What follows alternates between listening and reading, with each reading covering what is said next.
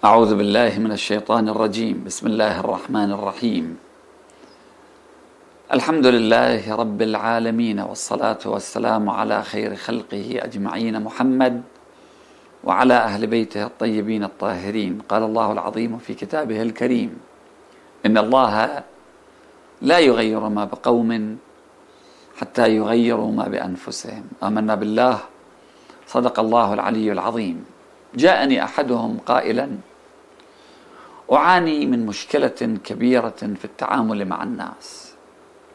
قال لا أحد يقبلني كما أنا فالكل يريدني نسخة أخرى منه.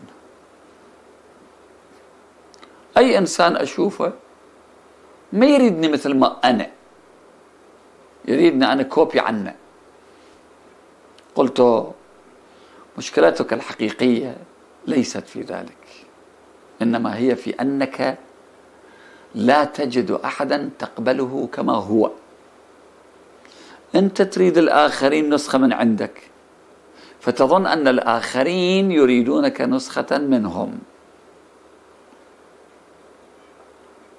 قال لا أدري ما أدري. قلت له خليني أسألك هل تقبل الناس مع قطع النظر عن أخطائهم؟ تقبل بأصدقائك حتى لو أخطأوا؟ تقبل بهم مع سوء أخلاقهم تقبل بأرحامك مع نقاط ضعفهم تقبل بجيرانك وإن كان عندهم أشياء ما تعجبك مثلا. قال طبعا لا. فمن أخطاء الأخطاء اللي أكو واحد عندنا ما أريدهم أريدهم بلا أخطاء. أنا لا يمكنني التغاضي عن أخطاء الآخرين. إنهم لا يقبلوني كما أنا. فلماذا أقبلهم كما هم؟ قلت هنا لب المشكلة. فأنت لا تريد الناس إلا نسخة منك. وهم هم مثلك. يريدونك نسخة أخرى منهم. قال زين هاي المشكلة. حددناها. ماذا أفعل اذا قلت له شوف أنت لا تستطيع أن تغير الناس جميعا. تستطيع. ولا تستطيع أن تغير واحد من عندهم. لأن إراداتهم ليست بيدك. لكنك تستطيع أن تغير ما بنفسك.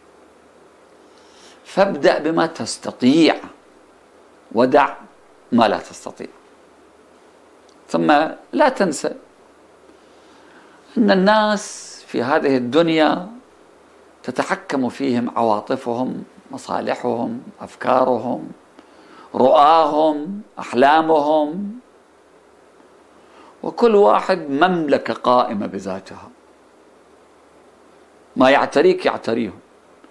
يوم من الأيام جالس من النوم مرتاح البال يوم من الأيام قلق يوم من الأيام عندك مصلحة معينة تبحث عنها مصلحتك يمكن تتناقض مع مصلحة إنسان ثاني. لا تتوقع أن تعيش مع ملائكة. أنت تعيش مع الناس. انظر إلى إيجابياتهم وحاول أن تتعامل مع تلك الإيجابيات. وأن تتغاضى عن السلبيات أو أن تمر عليها مرور الكرام يعني ما في إنسان ما عنده أشياء حسنة في أي إنسان عنده بعض الأشياء الحسنة تلك الأشياء الحسنة تعامل معها أنت. ليش تروح تدور على الأشياء السيئة مالتهم؟ قلت هل الناس كلهم شياطين أبالسة؟ قال لا. حقيقة عندهم مواقف جيدة. شوية فكر كأنه تذكر أشخاص معينين. قال نعم نعم عندهم أشياء وهي هم زينة. قلت له خلاص اتعامل مع الأشياء الزينة اللي عندهم. ليش دائما تتصور وتتذكر الأشياء غير الجيدة التي عندهم؟ يقول الإمام علي سلام الله عليه أنصف من نفسك قبل أن ينتصف منك فإن ذلك أجل لقدرك وأجدر برضا ربك. كل إنسان منصف مو تشوف نفسك ملائكة وتشوف الناس أبالسة. أنصف من نفسك قبل أن ينتصف منك. قبل ما ياخذون من عندك النصف يجبروك أنت أنصف نفسك. فإن ذلك أجل لقدرك.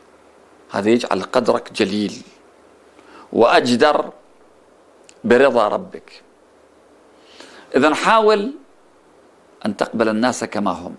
وحينما أقول الناس أقصد أقرب الناس إليك وأبعدهم منك.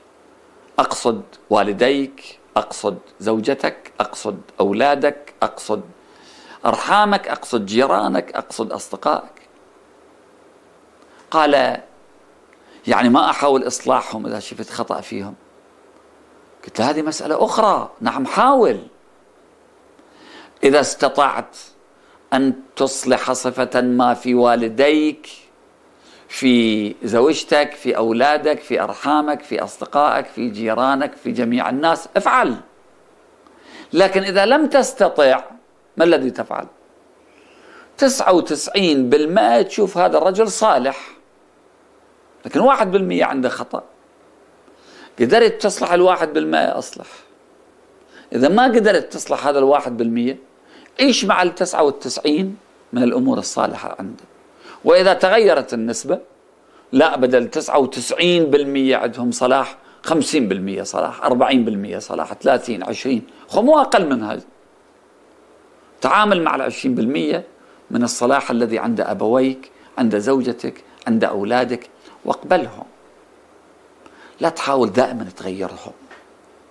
لأن ما تقدر تغيرهم. فدائما تعيش في حالة صراع في داخلك. لماذا عجزت عن تغيير هذا؟ لماذا لم يتغير ذاك؟ وتعيش صراعا مع غيرك من الناس؟ لا داعي لذلك. أنت قادر على أن تغير نفسك؟ غير نفسك. غير نفسك بالاتجاه الصحيح طبعا. ما أقول غير نفسك يعني يصير نسخة أخرى من الناس.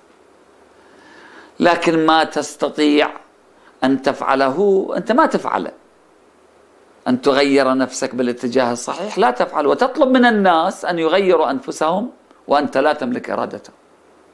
يعني إذا كنت من الذين قد يكذب وما قادر عادة الكذب تبعدها من نفسك. ليش تطلب من الناس أن يكونوا صادقين معك دائما؟ أنت مثلهم هم هم مثلك. وإن الطيور على أشكالها تقع. والسلام عليكم ورحمة الله